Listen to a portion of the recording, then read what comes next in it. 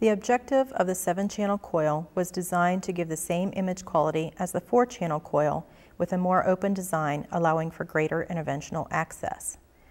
The 7-channel coil does come equipped with both medial and lateral plates which can be used for interventional purposes or in place of the sheet to help immobilize the breast, therefore decreasing any motion artifacts from the gradient vibration.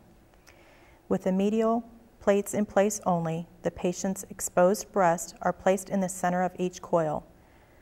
You should then gently pull on each breast to ensure all the breast tissue is in the coil and not tucked under the patient. The lateral plates are then placed against the breast just enough to touch each side, making sure not to compress the breast, which could affect the enhancement kinetics of the lesion.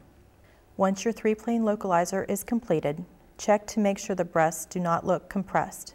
If it is, bring the patient back out of the scanner and pull the lateral plates out until they just are touching the breast.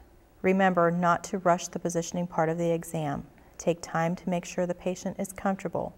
Place pillows under the patient's legs and feet, cushions under their arms, a mirrored head holder to decrease claustrophobia, and provide an emergency panic button. Having a comfortable patient can go a long way to guaranteeing a high quality exam.